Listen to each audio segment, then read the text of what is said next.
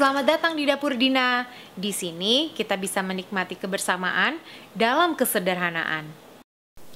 Pujilah Tuhan, hai segala bangsa, megahkanlah Dia, hai segala suku bangsa. Kali ini Dapur Dina mau bikin bolu kukus. Akhirnya.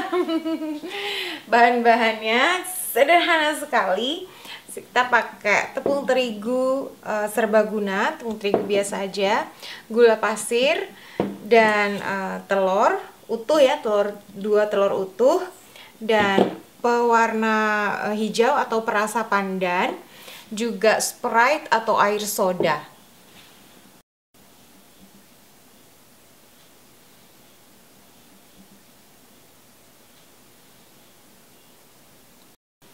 Pertama-tama kita mau um, kocok telurnya dengan uh, gula ya. Ini saya uh, kenapa saya bilang akhirnya? Karena dulu saya udah pernah coba dan coba dan coba. Kadang berhasil kadang enggak kadang berhasil kadang enggak. Nah ternyata menurut saya loh ya menurut pengalaman saya itu uh, apa mixernya tergantung sama mixernya. Sejak saya punya mixer ini puji Tuhan selalu berhasil. Karena dia itu ngocoknya tuh bener-bener uh, konsisten banget ya. Dia nggak berubah-ubah kayak gitu terus. Saya dulu pernah pakai hand mixer saya kocok sendiri kayak gitu. Hampir selalu nggak berhasil. Jadi kalau bolu kukus ini yang aku pakai tapi kalau mau pakai uh, tangan pakai hand mixer itu kenapa enggak ya? Asal kita ngocoknya itu konstan gitu ya kecepatannya putarannya tetap sama. Karena kita akan kocok selama 20 menit kecepatan tinggi ya. Kita kocok dulu telurnya dua telur utuh tadi beserta gula sekalian ya. Masuk ini langsung aja kita kocok kecepatan tinggi 20 menit Nah, saya akan uh, percepat semuanya setelah 20 menit kita akan kembali ya. Kecepatan tinggi.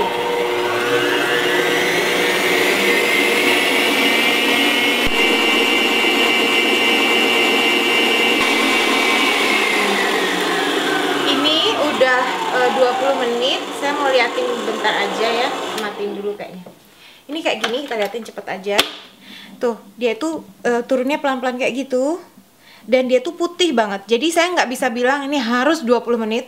Tergantung uh, mixernya ya. Kalau pakai hand mixer gitu mungkin kalau kecepatan tinggi tergantung kekuatan mixer. Pokoknya dia harus putih pucat gitu ya. Tapi nggak kaku. Maksudnya dia berjejak gitulah mungkin 20 atau 25 menit tergantung kekuatan mixer. Nah sekarang saya mau masukin uh, sodanya. Saya pakai Sprite dan uh, tepung terigunya giliran ya. Kita masukin dan uh, mixernya di paling rendah aja biar dia itu kecampur rata aja ya.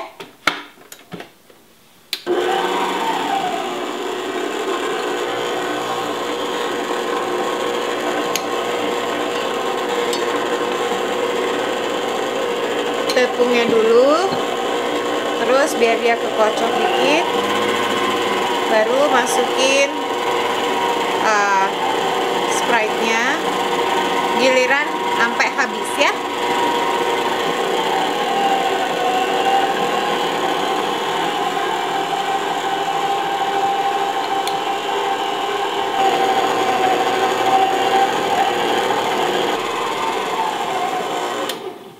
Oke, cabut dulu biar aman. Ini sudah sesuai dengan yang saya mau coba tak lepas dulu. Jadinya tuh kira-kira akan seperti ini. Nah sekarang baru saya akan panaskan kompornya ya. Uh, sekarang inilah saat yang tepat untuk memanaskan kompor. Saya isi kayak gini ya. Saya nggak ini kurang dari setengah ya. Jadi di bawah banget tapi nggak terlalu sedikit tapi juga tidak terlalu banyak. Nah karena nanti kalau dia pas dikukus itu biar airnya tuh nggak cipratnya tuh terlalu banyak jadi basah dan kuahnya bantet. Panaskan langsung ditutup. Sekarang kita siapin adonannya. Yuk. Ini saya mau ambil uh, sesuai selera ya. Boleh sedikit boleh beberapa sendok makan. Saya mau pakai setengahnya ya.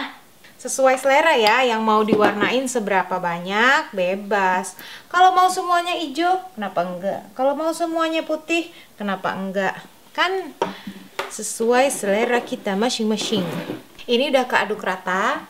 Mengukusnya itu saya pakai kertas ini, kertas kue gitu ya.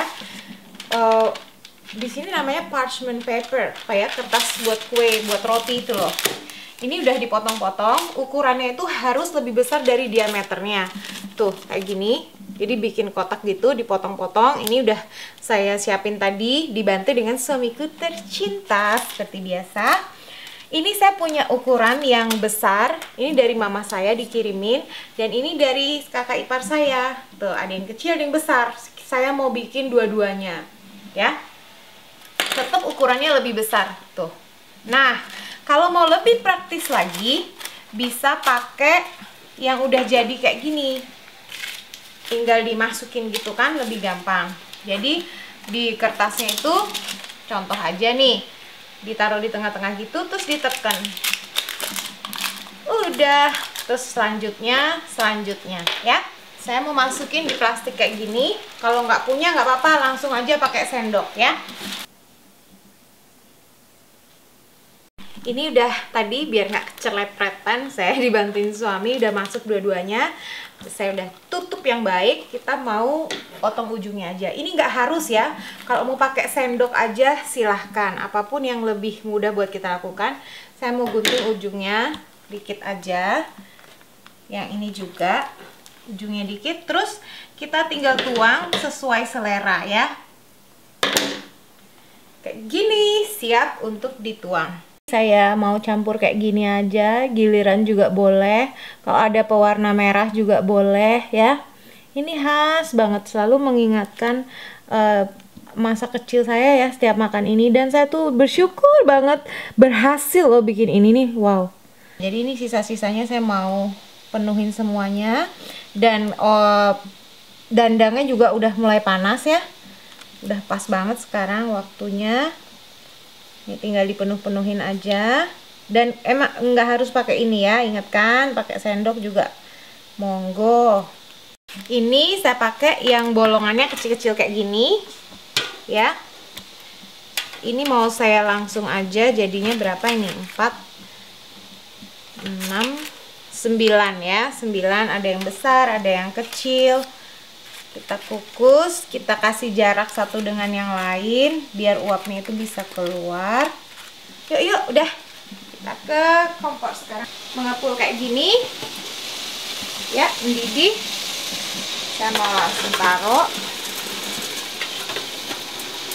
Uh, 25 menit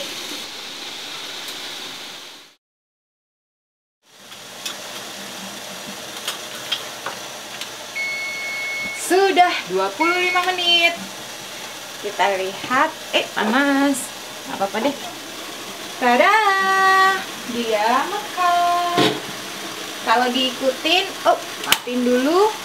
Kalau diikutin selangkah demi selangkah dengan resep yang tadi, pasti, pasti, pasti akan jadi, ya.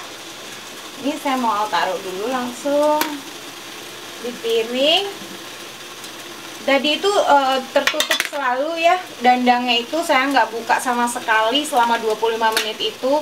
Saya nggak mau apa coba-coba aduh di matang nggak ininya nggak. Pokoknya saya udah pastiin 25 menit that's it. Dengan api api api besar ya api tinggi ya.